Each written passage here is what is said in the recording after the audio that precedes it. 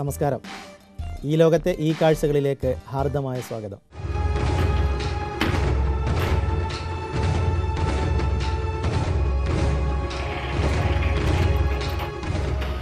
ഈ ലോകത്തിന്റെ കൂട്ടുകാർ ഈ വിലാസം വഴിയും മുഖപുസ്തകം വഴിയും പങ്കുവച്ച ഏതാനും കാഴ്ചകൾ തന്നെയാണ് ഈ ആഴ്ചയും ഈ കാഴ്ചയിൽ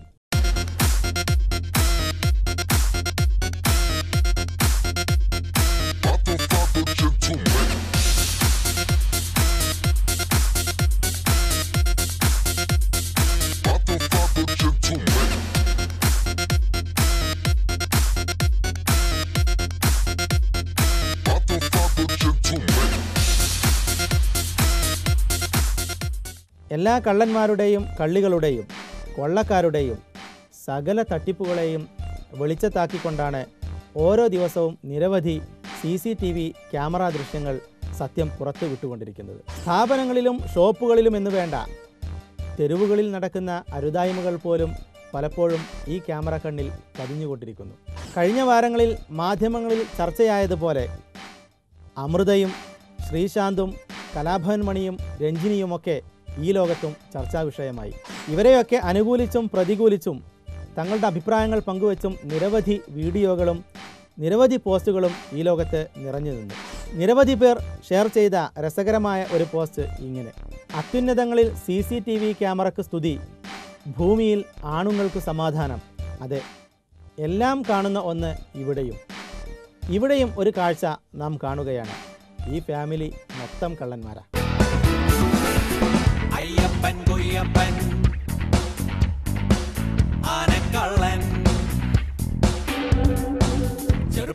ചെറുപ്പത്തി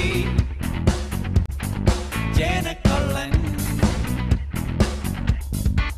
സിപ്പായിമാരുടെ തൊപ്പിക്കള്ളൻ വൈക്കന്റെ ചെമ്പിലെ ചോറുകള്ളൻ ഇതു കാണുമ്പോൾ ഈ ദൃശ്യം കൂടി ഇതിനോട് ചേർത്ത് വെക്കേണ്ടതാണെന്ന അഭിപ്രായത്തോടെയാണ് മനോജ് ഈ കാഴ്ച പങ്കുവച്ചത്. എന്താ? വേണ്ട വേണ്ട. മേടിനാ അപ്പാരി നമ്മസ്ഥിതി മേടിച്ച് വായിച്ച് നോക്ക് അപ്പ അറിയാം ഞങ്ങളുടെ സ്ഥിതി.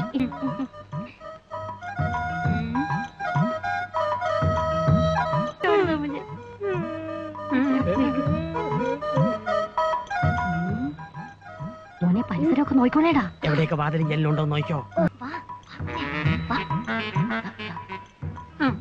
നൽകാൽ ഗുണം വരും. നല്ല കാലത്ത് ഗുണം വരും അമ്മച്ചി. അയ്യോ അമ്മച്ചിയുടെ പുതിയ എരിപ്പ് നിങ്ങൾ അതെടുത്തോ മനുഷ്യ. ഏതനവായ എന്ത് ഈ അറബികൾ വലിയ മണ്ടന്മാർ തന്നെയാണ് എന്ന അഭിപ്രായത്തോടെയാണ്. ഈ ലോകത്തിന്റെ കൂട്ടുകാരൻ ഷറഫുദ്ദീൻ ജി സി എം ഈ കാഴ്ച ഈ ലോകത്തിന്റെ പേജിൽ ഷെയർ ചെയ്തത്.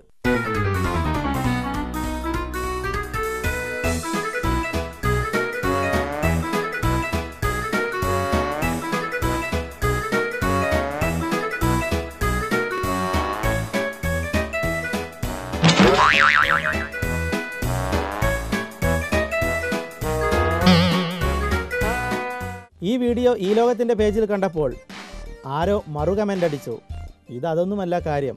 ഈ അറബിയുടെ വീട്ടിൽ ജോലിക്ക് നിൽക്കുന്നത് ഏതോ ഒരു മലയാളിയാവാൻ സാധ്യതയുണ്ടെന്ന്. ഇതൊക്കെ പിന്നെയും സഹിക്കാം. പക്ഷേ ഇനി കാണാൻ പോകുന്ന കാഴ്ച ഇവരുടെ മണ്ടത്തരങ്ങൾ വെളിവാക്കുന്നത് തന്നെയാണ്.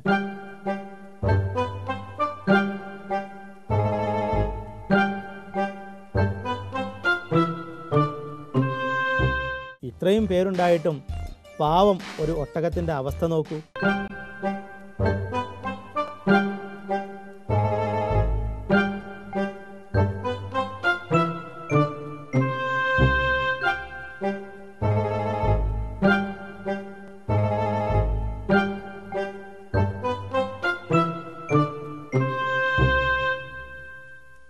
കത്തി നിൽക്കുന്ന വേനൽ കുടിവെള്ളത്തിന് പോലും മൈലുകൾ താണ്ടി പോവേണ്ട അവസ്ഥ.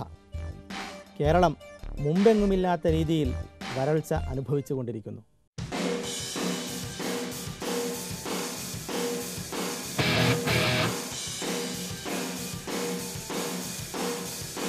ചെറിയൊരു ആശ്വാസമായിക്കൊണ്ടാണ് കഴിഞ്ഞ വാരം കേരളത്തിന്റെ പലയിടങ്ങളിലും ചെറുതായെങ്കിലും മഴ ലഭിച്ചത്.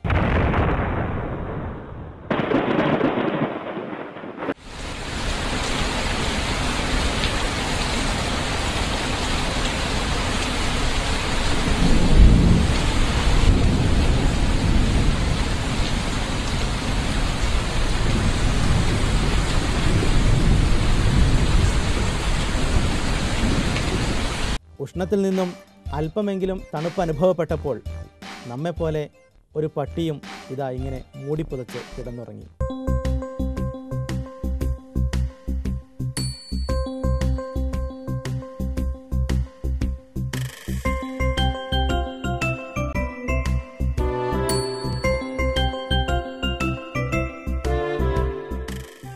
എന്തു കണ്ടാലും അത് അപ്പോൾ തന്നെ മൊബൈൽ ക്യാമറയിൽ പകർത്തുന്നവർക്കുള്ള മുന്നറിയിപ്പാണ് ഇനി നാം കാണാൻ പോകുന്നത്.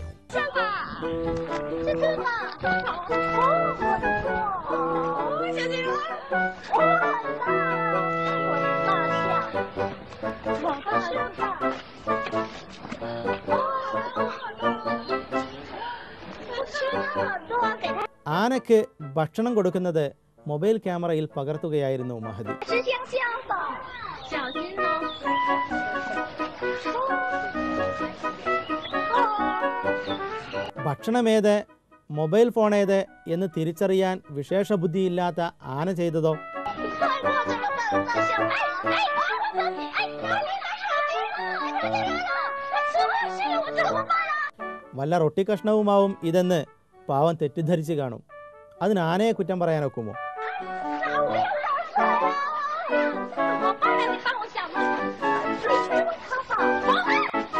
അധികം വിലയില്ലാത്ത മൊബൈൽ ഫോണായിരുന്നുവെങ്കിൽ സങ്കടപ്പെടാനില്ലായിരുന്നു. പക്ഷേ ഇത്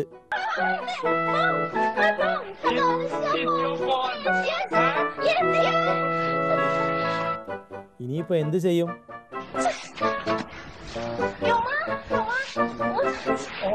ഒന്നും ചെയ്യാനില്ല. ആനപ്പിണ്ടം വരുന്നതുവരെ കാത്തിരിക്കുക തന്നെ.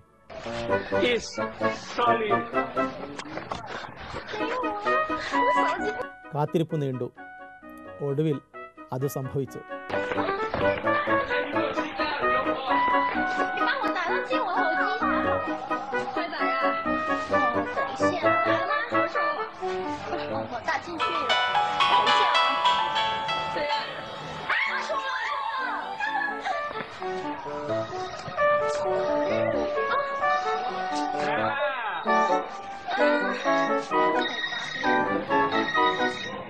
ഇനി ഈ മൊബൈൽ ഫോണിന്റെ ഉടമ മാത്രമല്ല ഈ രംഗം കാണുന്നവരൊക്കെ അല്പമെങ്കിലും ജാഗ്രത പുലർത്തിയാൽ ഈ ലോകം ടീം കൃതാർത്ഥരായി.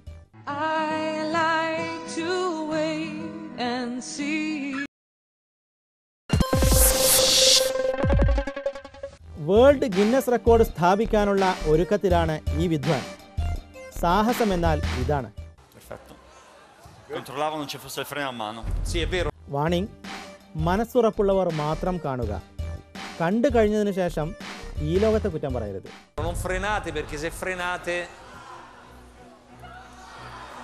കൂർത്ത് മൂർത്ത കമ്പി ഇങ്ങനെ മൂക്കിലൂടെ കയറ്റി വായിലൂടെ എടുക്കുക മാത്രമല്ല ടിയാൻ ചെയ്തത്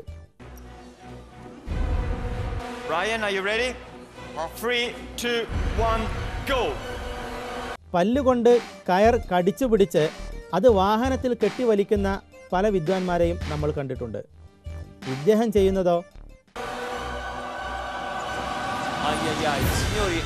vorrei commentare questa scena lo faccio a occhi chiusi allora ce la sta facendo forza carichiamolo ce la sta facendo stop ok ok ok madre mia signori aia സാഹസത്തിന് വേണ്ടേ ഒരതിര് എന്ന് തോന്നിപ്പോകുന്ന കാഴ്ച അല്ലേ?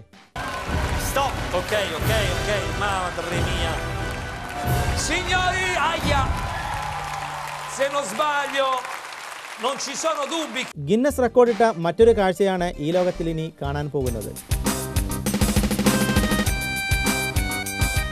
ലോകത്തിലെ ഏറ്റവും ചെറിയ മനുഷ്യർ ഒരു ശരാശരി പൊക്കമുള്ള മനുഷ്യന്റെ കൂടെ നിന്നാൽ എങ്ങനെയായിരിക്കും ആ കാഴ്ച? കാണാം നമുക്ക്.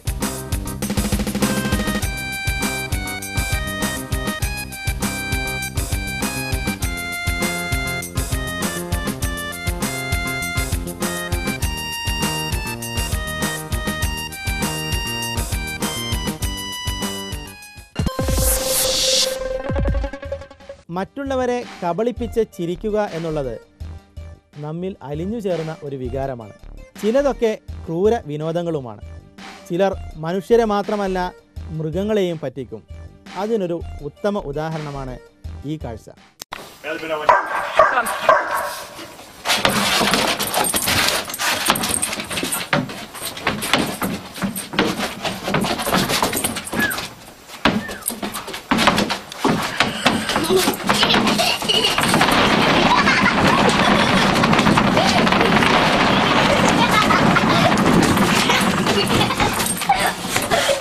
കബളിപ്പിക്കൽ തീർന്നില്ല. ഈ ലോകത്തിന്റെ കൂട്ടുകാരൻ റംഷീർ ചോട്ട ഈ ലോകത്തിലേക്ക് ഒരു വീഡിയോ അയച്ചു തന്ന് ഈ ലോകത്തെയും പറ്റിച്ചു. രസകരമായൊരു ബൈക്ക് റൈസിംഗ് എന്ന പേരിലാണ് കാഴ്ച അയച്ചു തന്നത്.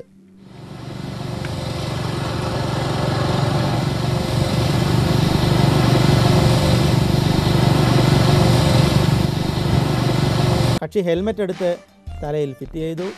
വണ്ടി സ്റ്റാർട്ട് ചെയ്തു.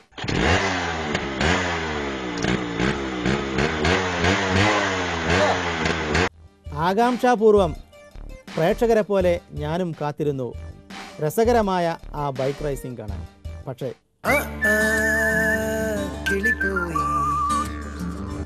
എന്തിയെന്നോ? ദാ പോണു.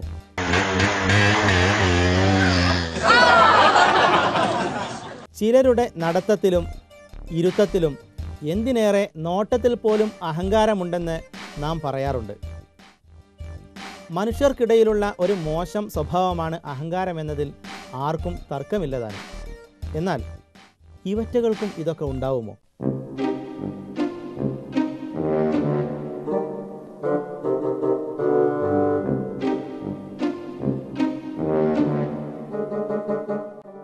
കണ്ട ഇരിക്കണ ഇരിപ്പ് കണ്ട.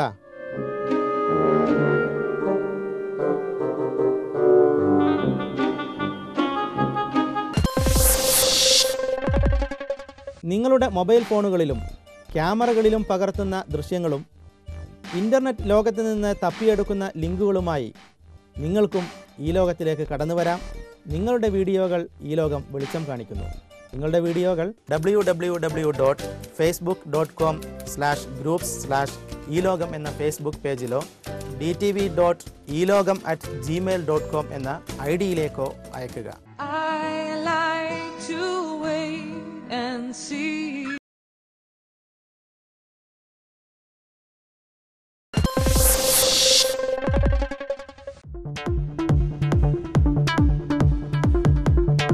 ബ്ലോഗർ ഓഫ് ദി വീക്കിൽ ശ്രീ പ്രവീൺ ശേഖറാണ് ഇന്ന് നമ്മോടൊപ്പം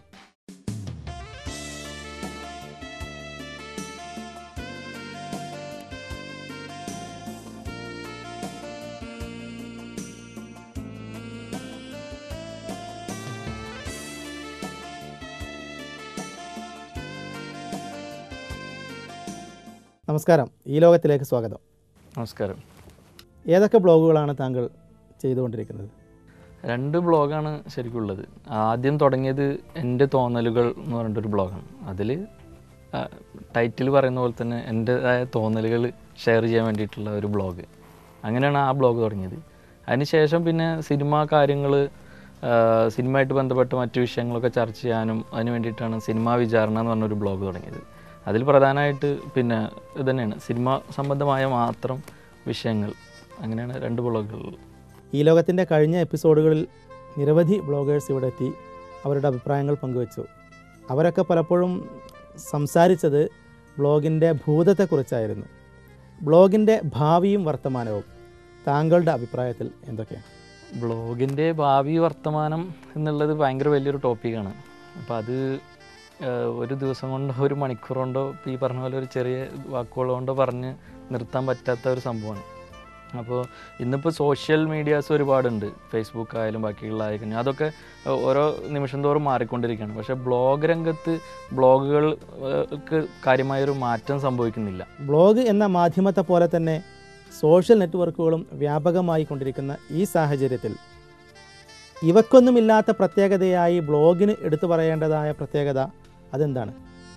ഇപ്പോൾ സോഷ്യൽ മീഡിയാസിൽ ഇപ്പോൾ ചർച്ച നടക്കുകയാണെങ്കിൽ പ്രധാനമായിട്ടും ഓൺലൈനിൽ മാത്രമാണ് നടക്കുന്നത്. ആ സമയത്ത് ആ ആ ചർച്ചയിൽ ആരൊക്കെ പങ്കെടുക്കുന്നു പിന്നെ അത് എത്രത്തോളം ലൈവായിട്ട് പോകുന്നു എന്നുള്ളതിനെ അടിസ്ഥാനപ്പെടുത്തിയിട്ടാണ് ആ ചർച്ചയുടെ ഒരു ആരോഗ്യം അനാരോഗ്യകരമായ കാര്യങ്ങൾ നടക്കുന്നത്. പക്ഷേ ബ്ലോഗിൽ അങ്ങനെയല്ല. അത് ഒരു ടോപ്പിക്ക് നമ്മൾ ഏത് ചിലപ്പോൾ കഴിഞ്ഞ വർഷം ചർച്ച ചെയ്ത ടോപ്പിക് ആയിരിക്കാം. അത് വന്ന് വിസിറ്റ് ചെയ്യുന്ന ആൾ ചിലപ്പോൾ രണ്ട് മാസം മൂന്ന് മാസം കഴിഞ്ഞിട്ടാവും നോക്കുന്നുണ്ട് പക്ഷേ ആ ചർച്ചയ്ക്ക് അപ്പോഴും സ്കോപ്പ് ഉണ്ട്.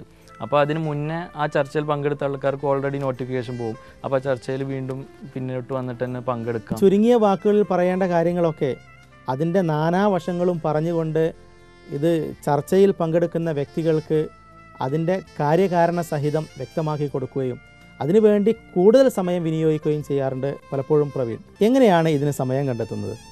സമയം അത് എല്ലാവരും ചോദിക്കുന്ന ചോദ്യമാണ് അതെന്താ സംഭവിച്ചു കഴിഞ്ഞാൽ നമുക്ക് നമ്മളെ ഡ്യൂട്ടി ടൈമിൽ നമുക്ക് ഒരു മൂന്ന് അവേഴ്സ് നാല് അവേഴ്സ് നമുക്ക് ബ്രേക്ക് ടൈം വരുന്നുണ്ട്.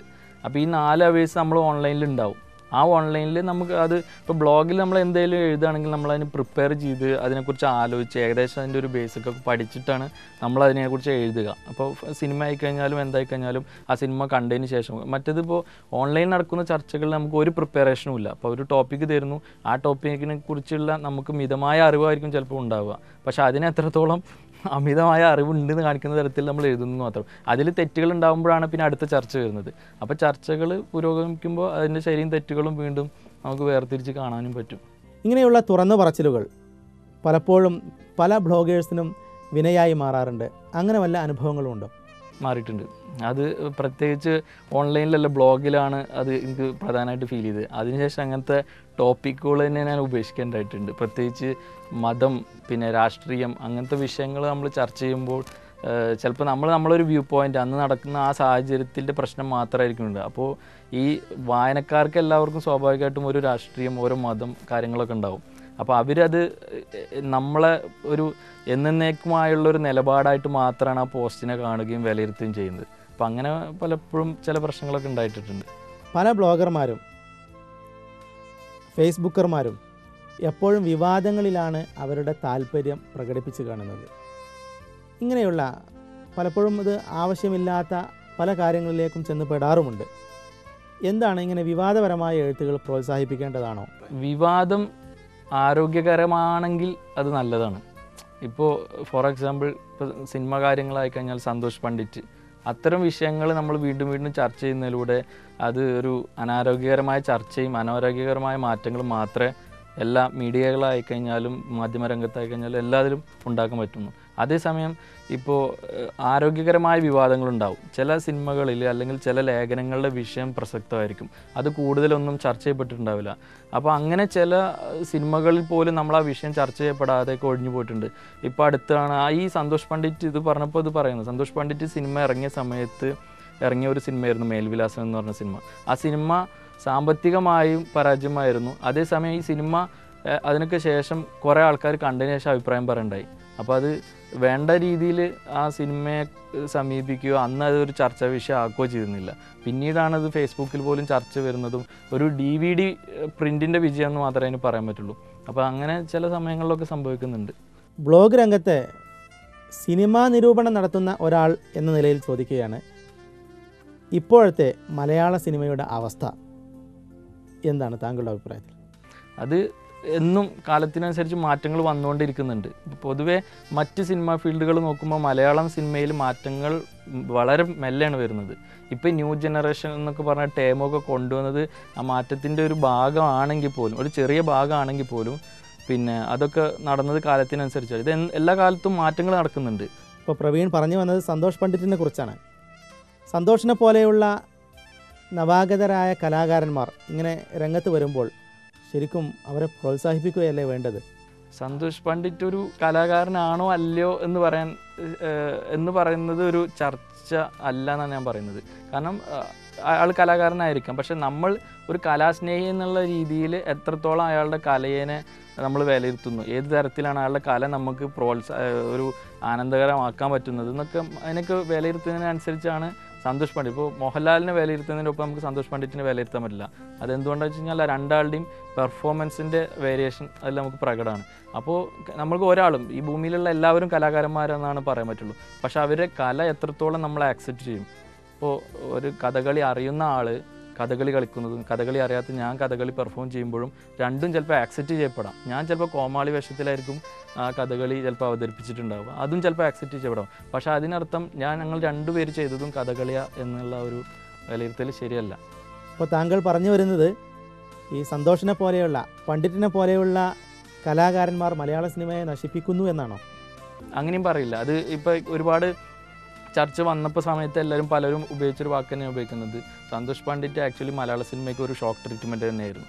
കാരണം എന്താ വെച്ച് കഴിഞ്ഞാൽ ആ, കാലത്ത് നമ്മളെ സിനിമകൾ നമുക്ക് തന്നെ കാണാം. പല എന്തോ നമ്മളെ നമ്മളൊക്കെ വളരെ സ്നേഹിക്കുന്ന പ്രിയ താരങ്ങൾ വരെ അങ്ങനത്തെ മോശം റോളുകൾ ചെയ്യുക അല്ലെങ്കിൽ അങ്ങനത്തെ കഥ എന്തുകൊണ്ട് ഇവർ ഇങ്ങനെയൊക്കെ ചെയ്യുന്നു എന്നൊക്കെ വരുന്നത്. അതേ സമയത്താണ് സന്തോഷ് പണ്ഡിറ്റ് വരികയും ആ പടത്തിന് അതൊരു തരം അമർഷം തന്നെയായിരുന്നു. അങ്ങനെ തന്നെയാണ് ഞാനും വിശ്വസിക്കുന്നത്. ഈ എഴുത്തിനെ പ്രോത്സാഹിപ്പിക്കാൻ വേണ്ടി നിരവധി മാധ്യമങ്ങൾ ഇപ്പോൾ ഈ ലോകത്ത് പ്രവർത്തിക്കുന്നുണ്ട്.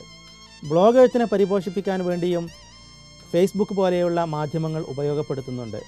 ഇതിൽ വളരെ സജീവമായ ഏതെങ്കിലും ഗ്രൂപ്പുകളെ കുറിച്ച് താങ്കൾക്ക് പറയാനുണ്ടോ? തീർച്ചയായും ബ്ലോഗേഴ്സിനെ ഉദ്ധരിക്കുക അല്ലെങ്കിൽ ബ്ലോഗേഴ്സിനെ കണ്ടെടുത്തിട്ട് അവരുടെ അവരിൽ വായനാശീലം വളർത്തുക നല്ല എഴുത്തുണ്ടാക്കുക എന്നുള്ള രീതിയിലൊക്കെ മുന്നിൽ നിൽക്കുന്ന ഒരു ഗ്രൂപ്പ് മലയാളം ബ്ലോഗേഴ്സ് ഗ്രൂപ്പ് തന്നെയാണ്. പിന്നെ മലയാളം ബ്ലോഗേഴ്സ് ഗ്രൂപ്പിന്റെ തന്നെ മാഗസിൻ ഉണ്ട് ഈ മഷി മാഗസിൻ എന്ന് പറഞ്ഞിട്ട്. അതിലും നമ്മൾ ഈ പറഞ്ഞ പോലെ പുതിയ പുതിയ ആൾക്കാരുടെ ലേഖനങ്ങൾ കുട്ടികൾക്കായുള്ള പങ്ക്തികൾ ആരോഗ്യം എല്ലാ വിഷയങ്ങളും നമ്മളതിൽ ഇപ്പോൾ അത് വളരെ കുറഞ്ഞ സമയം കൊണ്ട് തന്നെ വൈഡ്ലി അത് ആക്സെപ്റ്റഡ് ആയിട്ടുണ്ട്. ബ്ലോഗേഴ്സിനെ സംബന്ധിച്ച് എപ്പോഴും ആക്ഷേപമുള്ള ഒരു കാര്യം അക്ഷരത്തെറ്റിനെ കുറിച്ചാണ്. ബ്ലോഗുകൾ പലപ്പോഴും അക്ഷരത്തെറ്റുകൾ നിറഞ്ഞ് കുമിഞ്ഞു കൂടുന്ന ഒരു രംഗമായി മാറിക്കൊണ്ടിരിക്കുന്നു എന്ന്. അക്ഷരത്തെറ്റ് ശരിക്കും ഒരു സാഹിത്യരചനയിലെ കല്ലുകടി തന്നെയാണ്. അതില്ല എന്ന് പറയുന്നില്ല.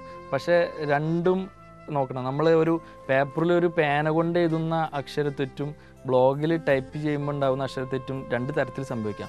പേന കൊണ്ട് നമ്മൾ എഴുതുമ്പോൾ അത് അർത്ഥത്തിൽ നമുക്കത് അറിയില്ല. അത് എഴുതാൻ അറിയില്ല. ഇപ്പോൾ ഗത എന്ന് എഴുതുന്നതിന് പകരം കഥ എന്ന് എഴുതി കഴിഞ്ഞാൽ അക്ഷരത്തിൽ അത് തെറ്റായിരിക്കും. പക്ഷേ നമുക്കറിയാം ഓൺലൈനിൽ നമ്മൾ ടൈപ്പ് ചെയ്യുന്നത് മംഗ്ലീഷ് സോഫ്റ്റ്വെയർ ആണ്. ഇപ്പോൾ നമ്മൾ ഗൂഗിൾ ട്രാൻസ്ലേഷനും വേറെയുള്ള സോഫ്റ്റ്വെയർസൊക്കെ ഉപയോഗിച്ച് നോക്കുമ്പോൾ ചിലപ്പോൾ K A D H A അടിച്ചു കഴിഞ്ഞാലും കഥ ഗതയൊക്കെ വരും. അപ്പോൾ ചിലപ്പോൾ ഒരാൾ പെട്ടെന്ന് എഴുതി പോകുന്ന തിരക്കിൽ എഴുതി പോകുമ്പോൾ അത് ചിലപ്പോൾ അയാളുടെ അറിവില്ലായ്മ കൊണ്ട് സംഭവിച്ചായിരിക്കില്ല. ചിലപ്പോൾ നേരം ഇല്ലാത്തതുകൊണ്ടോ അങ്ങനെ എന്തെങ്കിലും ടെക്നിക്കൽ എററും സംഭവിക്കാം. ദൈനംദിനം നിരവധി എഴുത്തുകാരാണ് പിച്ച വെച്ചുകൊണ്ട് ഈ രംഗത്തേക്ക് ബ്ലോഗ് രംഗത്തേക്ക് കടന്നു വരുന്നത്. ഈ രംഗത്ത് പ്രവർത്തിക്കുന്ന ഒരാൾ എന്ന നിലയിൽ എന്തെങ്കിലും ഉപദേശങ്ങളോ നിർദ്ദേശങ്ങളോ ഇവർക്ക് നൽകാനുണ്ട്? ഞാൻ ആക്ച്വലി ബ്ലോഗിങ് രംഗത്തേക്ക് വന്നിട്ട് ഏകദേശം ഇപ്പോൾ ഈ മാർച്ച് കഴിയുമ്പോൾ ഒരു ഒരു വർഷം കഴിഞ്ഞിട്ടുള്ളൂ. അപ്പോൾ എനിക്ക് ഞാൻ സത്യത്തിൽ എല്ലാ ഇത് ഈ വിഷയം എന്നല്ലെങ്കിലും എല്ലാ വിഷയത്തിലും ഞാൻ നിരീക്ഷിക്കുകയാണ് ചെയ്യാറ്. ഞാൻ പൂർണമായിട്ട് ഒരു മാഷ് എന്നുള്ള റോളിലോ ഒരു ഗൈഡ് ലൈൻ കൊടുക്കുന്ന ഒരു തരത്തിലോ നിന്ന് സംസാരിക്കാൻ ആഗ്രഹിക്കുന്നില്ല. ഇങ്ങനെ ഒരു പ്രോഗ്രാമുമായി സഹകരിച്ച് അഭിപ്രായങ്ങൾ പങ്കുവച്ചതിന് വളരെയധികം നന്ദി രേഖപ്പെടുത്തുന്നു. യാദൃശികമായിട്ടാണെങ്കിലും നാട്ടിൽ വന്നപ്പോൾ ഇവിടെ വരാനും ഈ പരിപാടിയിൽ പങ്കെടുക്കാനും ഒക്കെ സഹായിച്ചതിൽ വളരെ നന്ദിയിട്ടുണ്ട്. അപ്പോൾ ബ്ലോഗേഴ്സ് ഗ്രൂപ്പിന്റെ പേരിലും എന്റെ സ്വന്തം പേരിലും ഞാൻ അതിന് നന്ദി അറിയിക്കും നമസ്കാരം. ഓക്കെ. മറ്റൊരു ബ്ലോഗറുമായി അടുത്ത ആഴ്ച നമുക്ക് വീണ്ടും കണ്ടുമുട്ടാം. നിങ്ങളുടെ വിലയേറിയ അഭിപ്രായങ്ങളും നിർദ്ദേശങ്ങളും വിമർശനങ്ങളും ഈ ലോകത്തിന് എഴുതുക. വിലാസം.